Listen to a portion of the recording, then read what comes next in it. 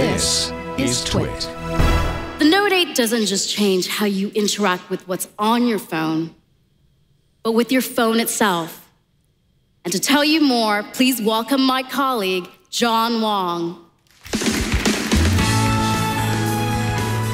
Yeah, no mention of Bixby yet. Yeah. Um, It's interesting, although that isn't necessarily a differentiator of this phone. So, of course, they're going to focus on the Thanks, features that are very different about I'm this. thrilled to be here. But I'll be Especially surprised because to find out how much time they actually do devote to. Bixby. Bixby Oh. Samsung DeX. With the Galaxy S8 and S8 Plus, we launched Bixby, a Well, smarter way to use your phone. a little lag. Yeah, I know. Every year, Oh, they did launch Bixby. more They just didn't launch Bixby voice. tens of thousands of features and Oh, functions. he's like he's standing on the bicycle. At Samsung, know what? our job is to bring you Do those not use Bixby while you're on a bicycle, and make please. it easy to use them to their just please. full potential. Little, little public service announcement. Bixby completely Did you see the guy in China who was watching, looking at his phone and Voice and bicycled vision into a sinkhole? to an intuitive yeah. home That's- screen, that's what that guy looked and like. And intelligent reminders. It learns and adapts to the way you use your device, not the other way around. For instance, with Bixby Voice, you can speak to your phone naturally, using the words and phrases you use every day. Today, Bixby Voice is available for English speakers in more than 200 markets around the world. They just did that It's uh, learning and getting yesterday, I believe. every day. They opened it up to, to- well, now available 200 There are countries. endless ways to more- a little more personalize than your But in English. experience. I th- they didn't add And more all of them are at your fingertips. Uh, in U.S. English and Korean. press of the Yeah, no more languages, just English and Korean. Take quick commands.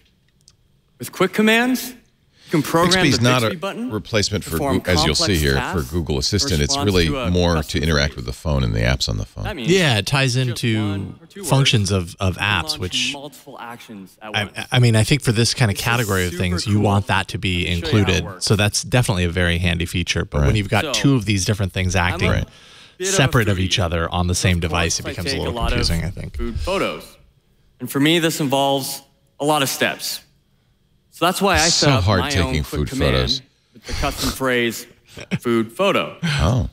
Now Custom instead of having to do all these steps manually, Ah, a little automation. automation. does them for me. Okay. So let me show you. I don't think that's in I can press the, the Bixby button and iteration. say food photo.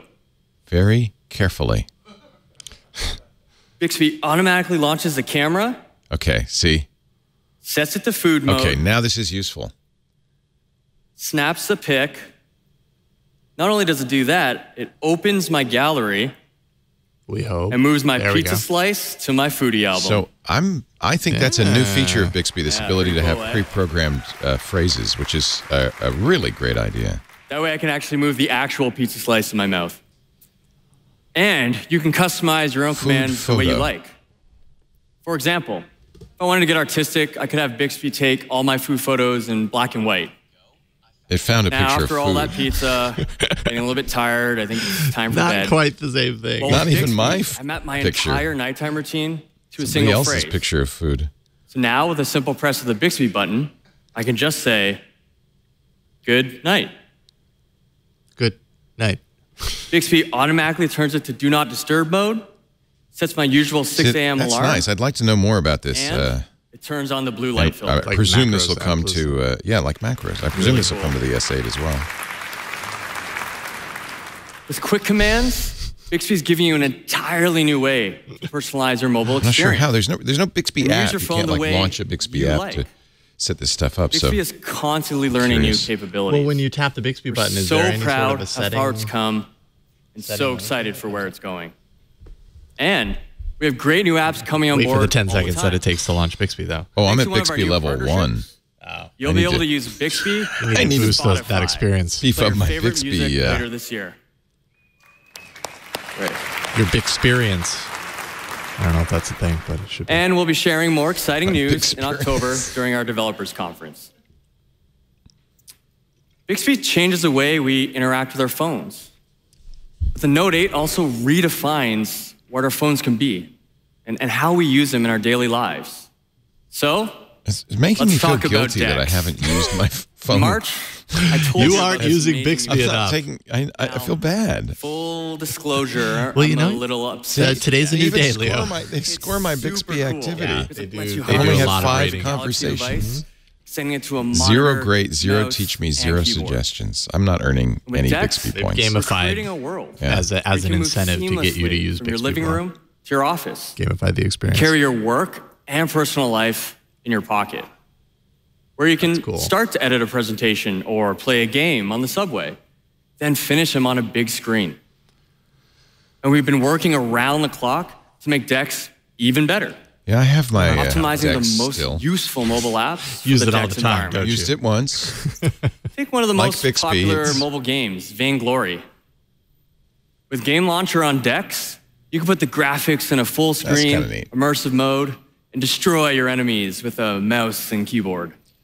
This is But, the little Of hockey course, puck that you even though Yeah. a lot of us your like phone to in play and it games allows you to connect and it to a relax, large screen. still have to get keyboard and stuff mouse. done. But ma- moves your phone we have into like more of a desktop ecosystem mode. of exciting partnerships that will change the way you work. To know how much that, and play. how successful that's been for Samsung so far. But I suppose it's early days. So the other more day, devices they release that chatting with my support it, the more about potential people to have to. show these partner apps to get in a real life story. And one of them said to me, John, you are that story. See, I have Dex set up at home and at the office, and I'm definitely a bit spoiled. My daily commute involves a 20 minute stroll down New York's famous High Line to the Samsung office. So, this is what I travel with. Yeah, see, that's the idea. Is you don't bring a A computer laptop. with you, just your phone, No bulky bag. but you have to Let's say I'm on the High Line, two and I need to talk to Suzanne keyboards, two about our mice, Note two 8 screens, and two presentation. Dexes. Mm-hmm. We've Dex partnered with Zoom is, to make video conferencing bucks. It's- completely seamless. right. I guess So I it's can cheaper just than one open up the Zoom expensive app. laptop. And start the meeting with Suzanne. And I love this flexibility where I can be doing this while I'm strolling down the High Line. Oh, there she is. Hey, Suzanne. Hey, John.